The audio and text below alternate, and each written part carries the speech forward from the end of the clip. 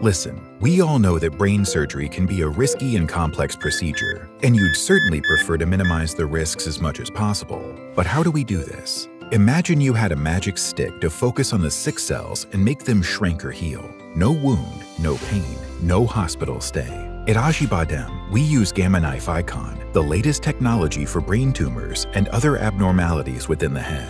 This is an alternative to traditional brain surgery that can be used in a variety of cases. It does not involve a scalpel or incision.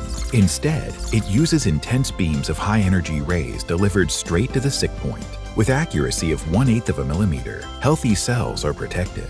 With the latest version of Gamma Knife Icon, now we can treat larger tumors and lesions close to critical parts of the brain.